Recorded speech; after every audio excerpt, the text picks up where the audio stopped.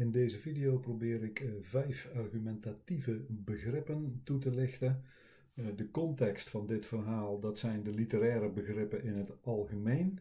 Daarvan zijn er drie soorten, namelijk stilistische, van alliteratie tot vergelijking, zeg maar alfabetisch. Er zijn uh, narratologische begrippen over vertellers en verteltempo, etc. En deze argumentatieve begrippen die over redeneringen gaan. Het gaat er dan dus om, uh, om mensen te overtuigen van jouw mening bijvoorbeeld, of om iets te doen. Uh, je, ik behandel er dus vijf. Dit is de eerste, de a fortiori redenering. Je ziet een omschrijving in het uh, scherm staan. De standaardredenering is, of het standaard voorbeeld is, als een reus die steen niet kan optellen, dan kan een dwerg dat helemaal niet die reus, dat is de sterkere situatie. En als die die steen niet kan optellen, dan kan de zwakkere, de dwerg, dat helemaal niet. De eerste hoeft niet per se de sterkere te zijn. Het kan ook omgekeerd.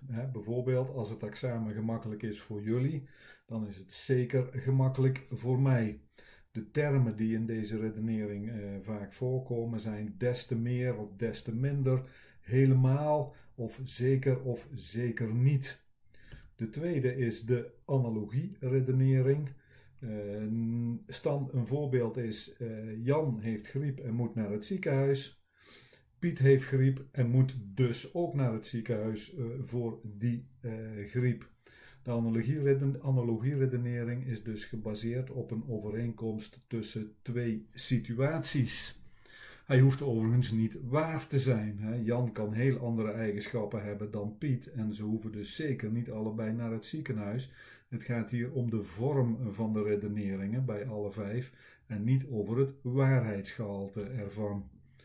De derde is het autoriteitsargument. Uh, bijvoorbeeld, uh, het was op het 8 uur journaal, dus moet het waar zijn. Je beroep je op de autoriteit van iemand die er verstand van heeft.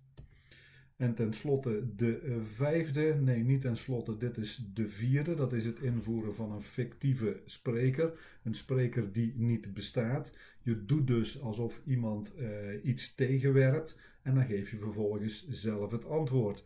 Bijvoorbeeld in een rechtszaak kun je zeggen, de verdediging zal nu ongetwijfeld zeggen, dit is geen overtuigend bewijs.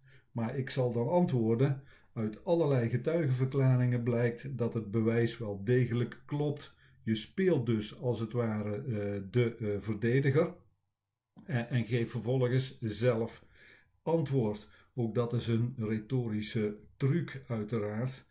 die verdediger die wil misschien iets heel anders gaan zeggen. Ook hier gaat het weer om de vorm en niet om het waarheidsgehalte ervan. De laatste die ik behandel is het syllogisme.